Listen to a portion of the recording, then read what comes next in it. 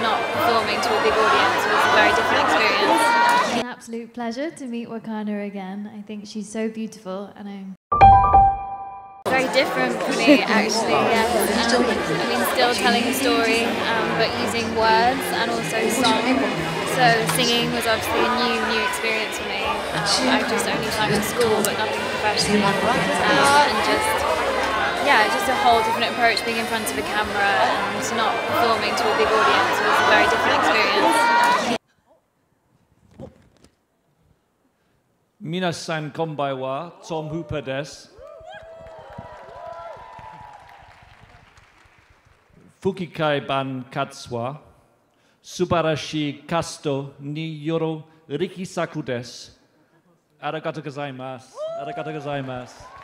え。ーキャッツ日本語版で、あのービクトリアを演じました声を演じました青井若菜です、えー今回のこの「キャッツ」という作品は日本でも本当にミュージカルとして根強い人気のある作品だと思います、えーそれが今回まず自分が一番驚いたのはキャッツが映画化するんだということに本当に驚いて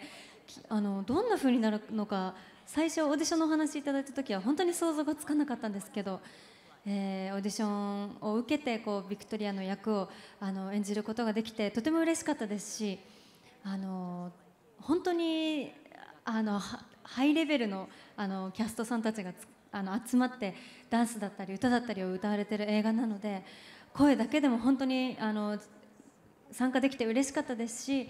あの日本のお客さんにぜひあの見ていただいてくとなんかあのまた伝わるものがあるんじゃないかなととても楽しみにしています、えー今日は寒い中本当にありがとうございます。えーマンカストラップをやらせていただきました山崎育三郎です、えー今日は寒い中集まりお集まりだき本当にありがとうございます。もうこの日本でも愛されているこのミュージカル「キャッツ」えーこの作品を僕の大好きなトム・フーパー監督が作られたこの映画に携われるということに本当に興奮しているんですが、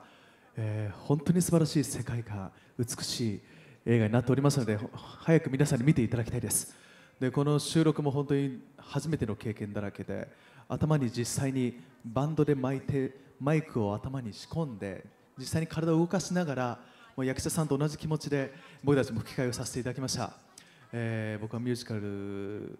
の世界で育ってきたので自分ができる全てをこの映画でぶつけましたのでぜひぜひ楽しみにしていてください。An absolute pleasure to meet Wakana again. I think she's so beautiful, and I'm incredibly delighted to um, be here with her and to celebrate this night for her. And um, I'm sure her performance in Cats is going to be incredible, and I'm very excited to see it.